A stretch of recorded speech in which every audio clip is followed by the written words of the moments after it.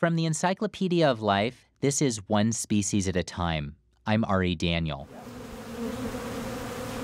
You're listening to the sound of Apis mellifera, honeybees. I'm going to walk deeper into the cloud of bees. Noah Wilson Rich, an entomologist, walks across a small asphalt lot in Boston's South End. Two parking spaces are filled with a couple dozen bee boxes. Wilson Rich reaches into one and pulls out a single frame of honeycomb. Right now, I'm holding this frame that is being cleaned out by all sorts of bees. Sometimes bees will tumble after they land from a flight and do some somersaults. This is extraordinary. I mean, there's so many of them. There are tens of thousands of bees around us right now. How am I doing? You're doing great, even as some land on our heads. we don't have any protective gear on. Wilson Rich is only wearing shorts and a t shirt with the words Best Bees printed across the front. That's the name of the honeybee research company he founded a few years ago. We head inside, and Wilson Rich shows me the company's modest lab space. So, the research is really focused on ways that we can make bees healthier. You probably know that bees aren't faring so well these days. Some call it colony collapse disorder. Populations are at an all time low due to disease, pesticides, and habitat loss.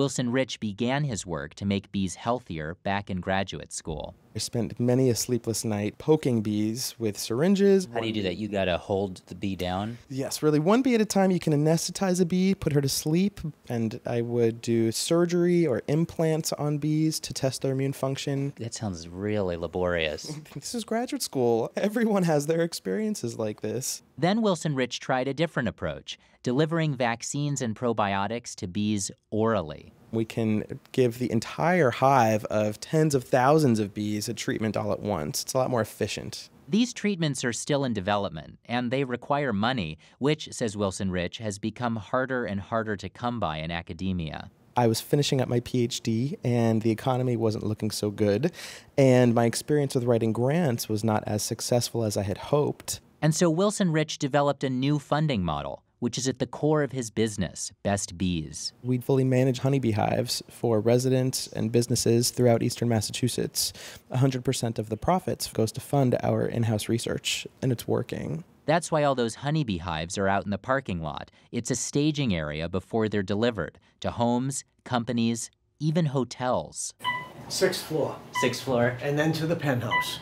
David Walsh, the facilities manager at Boston's Fairmont Battery Wharf Hotel, escorts a few of us up onto the sunny hotel roof, including Aaliyah Marinone, who's in charge of operations at Best Bees.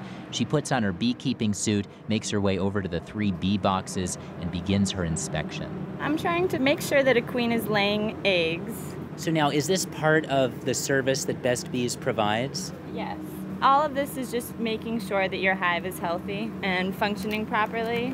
Best Bees replaces diseased honeycomb frames. Sometimes they add a new queen to hives without one.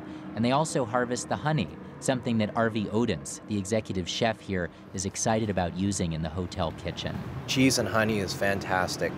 Also, we have great mixologists downstairs in our bar, and they keep on asking me, Chef, when's the honey ready? Because they really want to uh, start making some drinks. David Walsh sampled the rooftop honey a few weeks ago and loved it. That honey had essence of lemon. And talk about fresh, I mean, it was right out of the hives. And it was at that moment that one of the thousands of bees flying around the rooftop found its way onto the chef's head. Uh oh, yeah. chef just got a bee in his hair. Yeah, and he's he's allergic, so he's oh, got he's allergic. He is. Not to worry though, Chef Odin's headed for the hospital, and despite a bee sting to the temple, he ended up being just fine. I reached him by phone a couple days later. No swelling at all, just a little bit of a bump, and that's about it. Odin's doesn't mind, and it hasn't changed his view of those rooftop honeybees. I love bees and honey so much. It's very challenging for me to stay away from them. Noah Wilson Rich, the founder of Best Bees, feels the same way. He loves bees. And in the interest of full disclosure, I should say that while he and I were standing inside that bee cloud in the parking lot, we both got stung. So, oh, I think I just got stung. Ow, ow, ow. ow. ow. Me on my left arm, Wilson Rich on his fingertip. I can get you some ice if that would Maybe, yeah. yeah. But he's used to getting stung. It's kind of an occupational hazard. I've had hundreds of stings in one day. That's like a tough day at the office. But for Wilson Rich, a tough day at this office, surrounded by honeybees and all the research underway to make them healthier, beats any alternative. Check out EOL.org for some photos of urban beekeeping and a set of honeybee observer cards. Our series, One Species at a Time, is produced by Atlantic Public Media in Woods Hole, Massachusetts. I'm Ari Daniel.